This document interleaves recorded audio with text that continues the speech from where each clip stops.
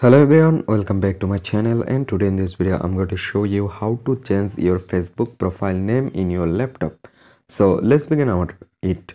So first of all what you need to do you just need to open on your browser. Now open on facebook.com so here you can see this is your facebook uh, homepage right now you need to click on the top right corner your profile icon. Now you need to click on settings and privacy now click on settings. Okay all right. Right now you can see at the first option name. Click on this edit icon. Now you can get a changing option on here. Uh, but i recently changed my name. That's why i cannot change my name uh, before 60 days. So i need to wait 60 days then i can change it but you don't need to wait. You can change easily from here.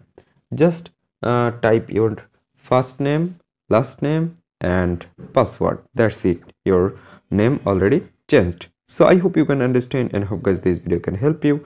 Don't forget to like and subscribe to my channel